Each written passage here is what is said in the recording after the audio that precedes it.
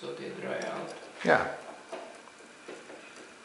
Some people doing uh, surface sterilization followed by flaming. Okay. yeah, we can do that as well if you like.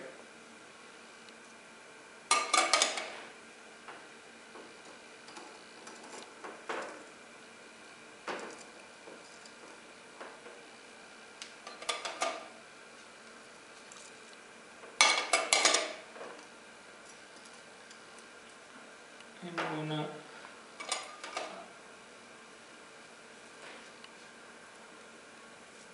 fragment them more Yes, after for the petri dishes, yes.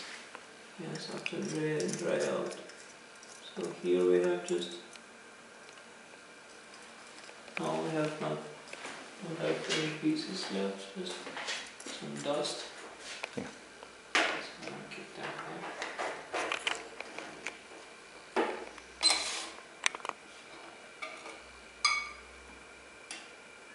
You can transfer uh, them to into the mortar right now, and after that, we can just grinding them uh, gently to make uh, them available for cultivation in petri dishes. Okay.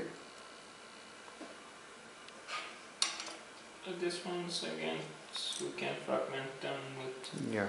The scissors, with forceps as well.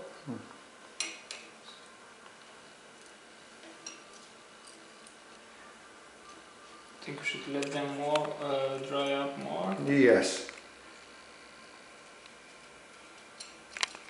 Another five minutes or so.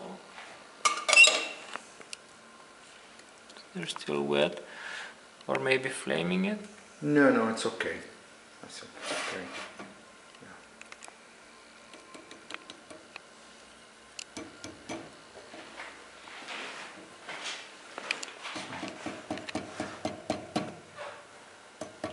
It fragile or you need just to do that? Okay.